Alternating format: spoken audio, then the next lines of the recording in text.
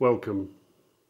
In this vlog, I am going to explain through what I observe and from what I experience why the family court is so terrifying. This is a very dark vlog and for good reason. It is going to once and for all expose the family court in a way that I don't believe has ever been done before. I am going to dive straight into it, but before I do, I must run my excellent introduction.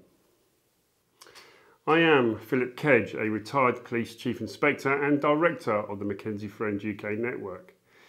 I have been a McKenzie friend assisting people through the family court as a layperson for over a decade. In all my vlogs, my views and opinions are entirely my own. Please help me by liking, sharing, subscribing and hitting that notification bell.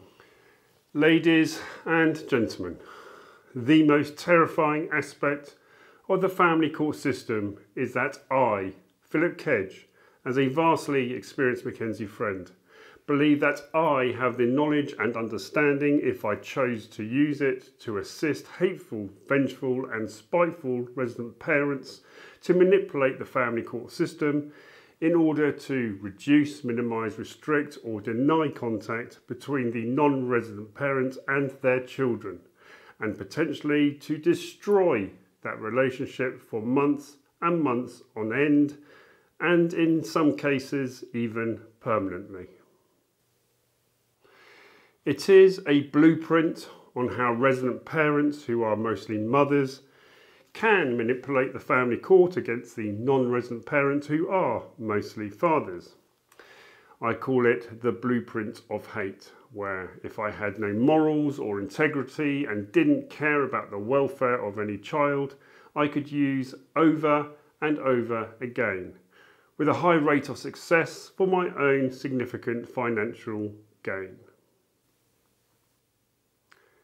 In this vlog, I am going to explain that blueprint, but I want to make a couple of points very clear.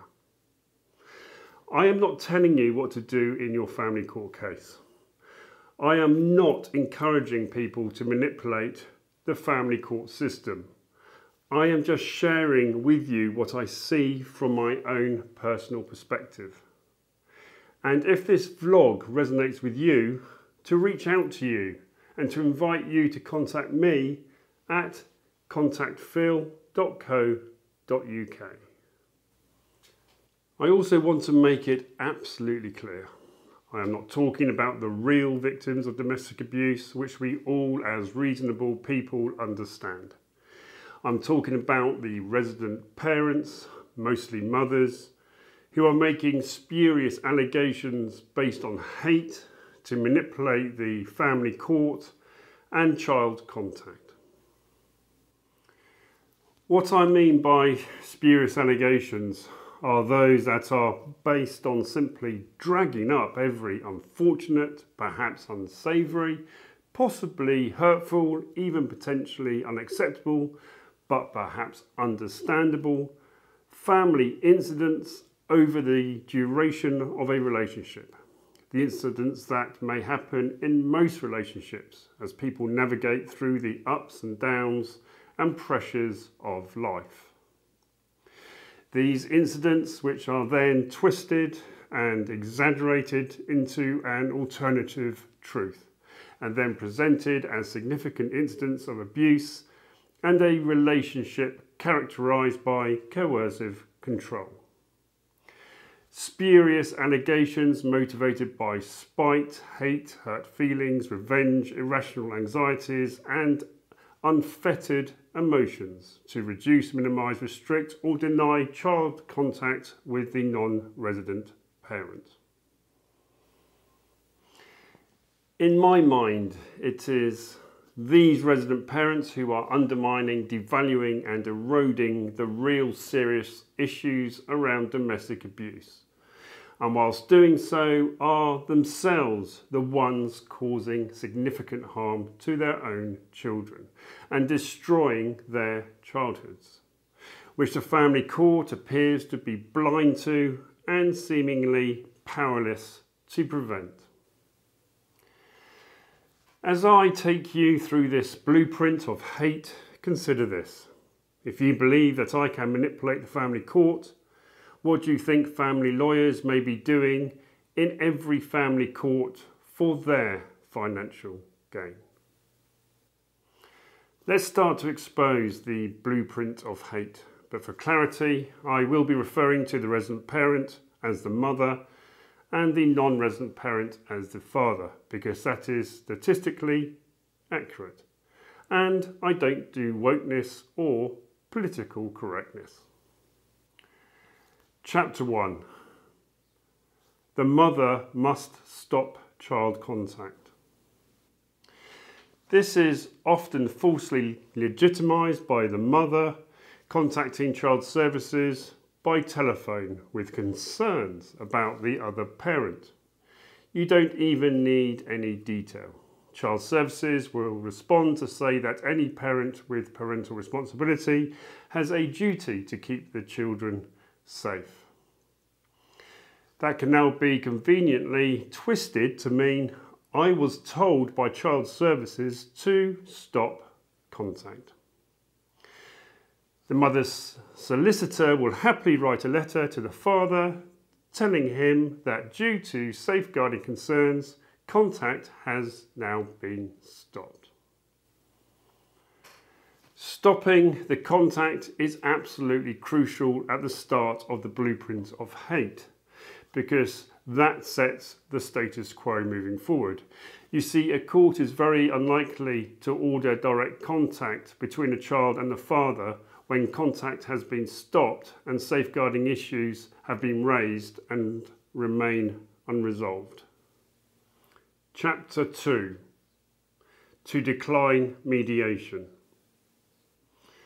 Let's now assume that the father, after three months of not seeing his children, tries to restore contact with mediation and attends a MIAM, the Mediation Information and Assessment Meeting. Of course, the blueprint of hate provides clarity to this situation. The mother should string this out as long as they can with her solicitor sending letters back and forth as all delays provide more time to set the status quo of no contact. However, when things eventually come to a head, the mother simply raises an exemption to mediation based on domestic abuse and coercive control. The father, now out of all options, submits his child arrangements application in the naive belief that the family court will see through the nonsense and will quickly restore contact. Well, the blueprint of hate will ensure that that doesn't happen. Chapter 3 Responding to the application with the Form C1A. The mother, on receiving a copy of the application and the date for the first hearing in six to eight weeks' time, responds by submitting a C1A to record her allegations of harm and domestic abuse. The mother lists all the spurious allegations against the father that she can muster, trying to link them all together to represent coercive control and prioritising any incident occurring in the presence of the children. Remember, it's the mother's interpretation of events, her perceptions and feelings, her truth, based on her motivations. How far that may be twisted from reality, no one will ever know. Chapter 4 The Cafcass Safeguarding Call and Letter. This interview is open to manipulation under the blueprint of hate. The mother doubles down on her safeguarding concerns, the spurious allegations based around her truth, coupled with the fact that the children are scared and fearful of the father, that they don't want to see him until it is safe to do so, that she is fearful and anxious, and that the father is manipulative and controlling. Cafcass then speak to the father. He denies it all and may even try and use the forbidden words of parental alienation that Cafcass simply ignore. The safeguarding letter will reflect the high levels of hostility between the parents, but the holy grail under the blueprint of hate is to ensure that the Cafcass family court advisor concludes with the magic words that the court needs to consider whether a fact finding is necessary based on the mother's allegations, and until then, direct contact remains unsafe and cannot be recommended. With that in place, it is all going perfectly to plan. Chapter 5 The First Hearing Dispute Resolution Appointment. By the time of the first hearing, the father has not seen the child for five months since separation. The objective under the blueprint of hate is to now manipulate the court to achieve two outcomes. Firstly, that more information and evidence is needed before the court can consider whether a fact finding is needed or not. Secondly, to conclude that direct contact is still not safe until all the information can be assessed. Well, both these outcomes are pretty much already in the bag in order to make considerations under Practice Directions 12J for a fact-finding hearing. The court needs all the information to be available. The mother's job under the blueprint of hate is to simply continue to present a total brick wall in refusing to agree direct contact. The Cafcass safeguarding letter clearly states that direct contact is not recommended and nothing has changed. And how about this? The judge is totally limited in ordering the progression of contact at direction hearings where there is no consent by the mother. Contact can only be ordered without consent following contested adversarial hearings where evidence is heard. The judge's hands are now totally tied with the implementation of the powerful blueprint of hate. The mother with her sick lawyer are now in total control of both the judge and the court process. I warned you that this was terrifying. As predicted, the judge orders the mother to complete a Scott schedule of allegations along with a supporting statement. The father is to respond to her statement. The next hearing is a case management hearing to review the mother's statement of allegations and the father's response it is listed for three to four months' time, still with no direct contact during this period. Chapter 6 The Statement of Hate. The mother now writes her schedule of allegations and her statement of hate, signed, of course, with a statement of truth, her truth and who can predict the creativity of a mother hell bent on throwing her ex under the family court bus to restrict, minimise, reduce or deny contact with her children.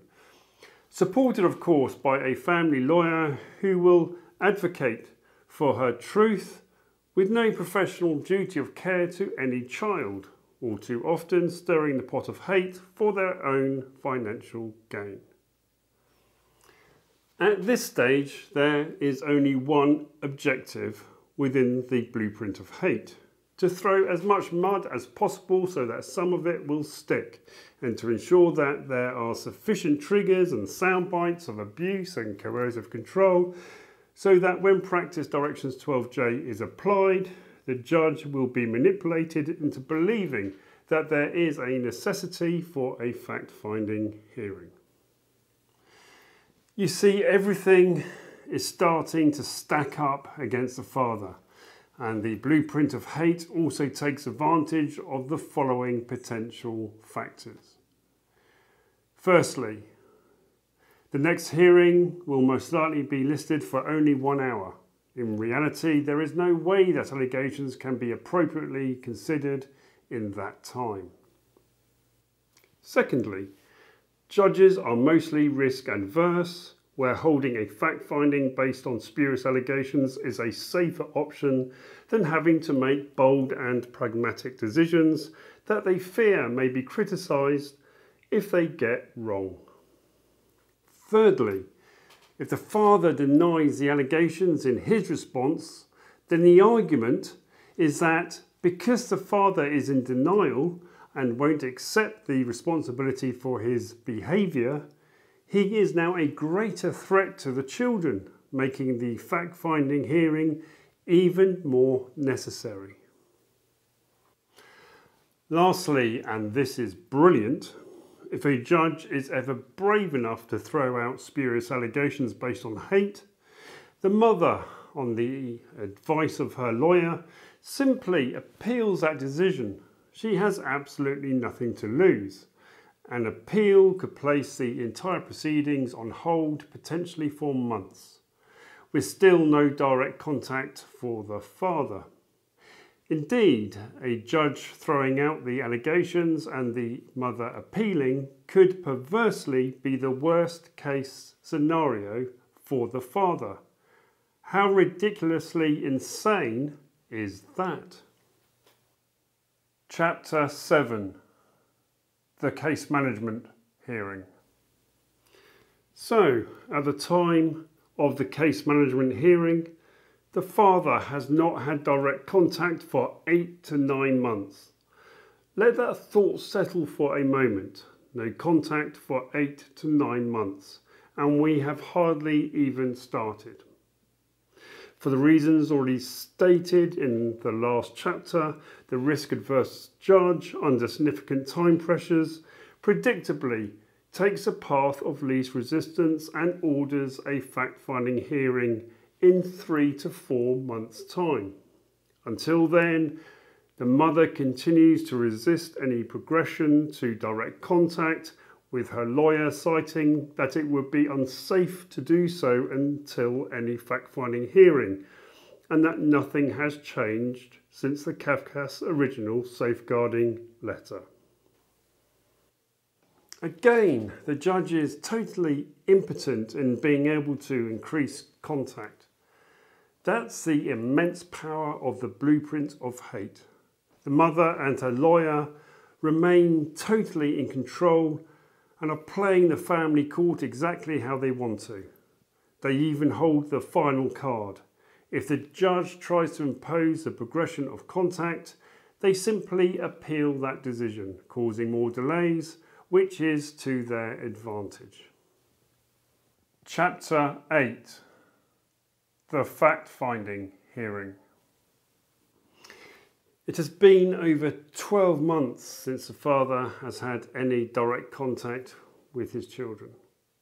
The odds of the father coming out of the fact finding hearing unscathed is very low. Why?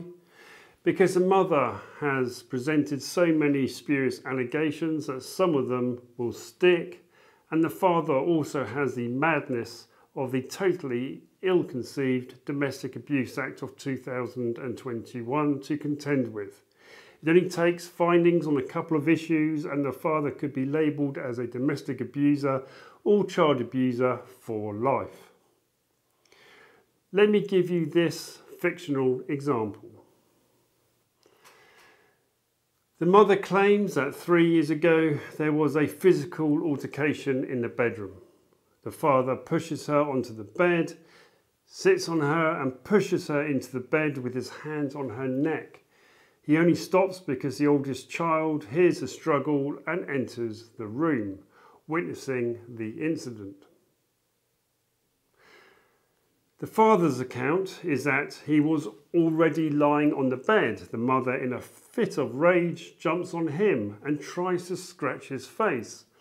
He places his hand upwards on her neck to keep her away from his face and pushes her off the bed.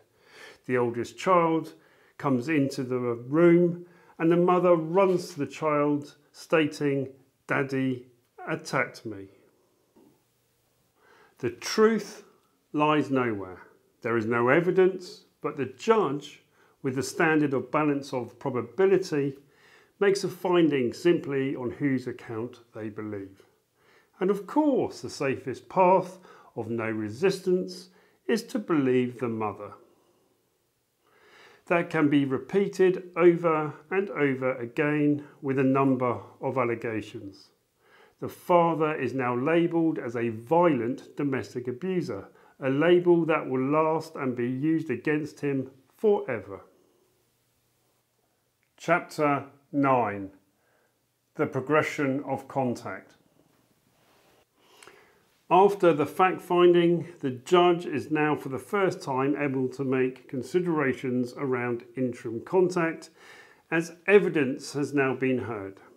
However, the blueprint of hate remains a very powerful and potent weapon. The mother's solicitor now demands that because some findings of abuse, indeed violent domestic abuse, has been found, the matter should be referred to CAFCASS to do a Section 7 report. The judge agrees that a CAFCASS Section 7 report would be helpful, but questions why contact cannot be progressed to at least direct supervised contact in a contact centre. Why would that not be safe? The blueprint of hate has the answer. The lawyer reminds the judge that the children have not seen the father for over a year. Any progression of contact has to be done slowly and carefully at their pace, with the oversight and recommendations of CAFCASS as to the best way forward. The blueprint of hate is too powerful for the judge and the judge concedes that point and orders a Section 7 report to determine the wishes and feelings of the children. Any safeguarding measures based on findings of domestic abuse and what the progression of contact should look like. The next hearing will be a directions hearing in three to four months' time, by which time the father would have had no direct contact with the children for 16 months. Chapter 10 The End Game. Ladies and gentlemen, the end game can now have many different scenarios. The children may be totally adverse to seeing their father and direct contact is never restored. The father may only get as far as having supervised contact in a contact centre as a final order, or if he is lucky, contact may progress to having unsupervised contact in the community. However, what is almost certain is that by the time it comes to a final hearing, the final order is not going to resemble anywhere near the loving, appropriate contact full of opportunities and memories to build the bonds he was seeking at the start of the proceedings now over a year and a half ago. Well, folks, it is time to start concluding this vlog. So let me begin to sum up my final thoughts. But very importantly, if anything that I have explained from my observations and experience resonates with you, then please contact me at contactphil.co.uk to find support. You are not alone. At the beginning, I made a statement that I believe that I have the knowledge and understanding of how to use the blueprint of hate to reduce, minimise, restrict or deny contact, which works almost every time. I witness this happening to varying degrees all the time, and I believe these tactics are endemic in the family courts up and down the country. I have no doubt that there are potentially thousands of fathers out there who will either in part or entirely relate to what I have described. And what is so terrifying is that there is almost no defence against the blueprint of hate. It is like a relentless pattern that very few judges are willing to challenge or change. The blueprint of hate works relentlessly in the family courts, severing relationships between children and their fathers and destroying childhoods. And no one in the cruel, broken, inept, incompetent, and incomprehensible system challenges the mother. No one points a finger at the mother and says, You are the one significantly harming your children. You are the child abuser. I will never use this blueprint of hate, and I will never assist a resident parent to wield spurious allegations of hate to destroy their ex and the children. However, I don't see family lawyers taking a similar stand. All too often, I see them happily represent the truth of mothers, however spurious, nonsensical, irrelevant, and disproportionate the allegations are. They hide behind their shield of following their client's instructions and operate with impunity in being implicit in the destruction of childhoods, having no professional duty of care to any child. What a sick, sick profession they are in. Ladies and gentlemen, I stand by everything that I say. What a terrifying family court system we have. Until next time, and to the non resident parents, the mostly fathers, keep strong.